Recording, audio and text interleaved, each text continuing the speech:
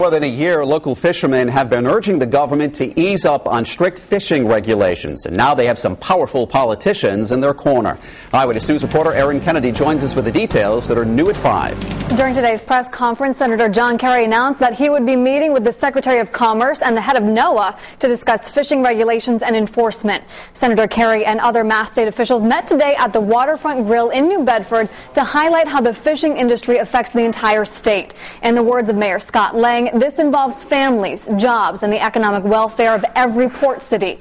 Several Massachusetts representatives have long been critical of NOAA for placing unreasonably low catch limits on the fishing industry and for enforcement procedures that they call heavy-handed. Senator Kerry says local fishermen deserve more specificity and they need to be included in any legislation moving forward so that the entire state can be better manage their fisheries and meet environmental responsibilities without sacrificing their way of life. Our fishermen all across Massachusetts, all across New England, are really hurting. And it's not entirely because of the economy, it's because of the federal government and some of the decisions that have been made with insensitivity and without adequate creativity. I believe we can do better.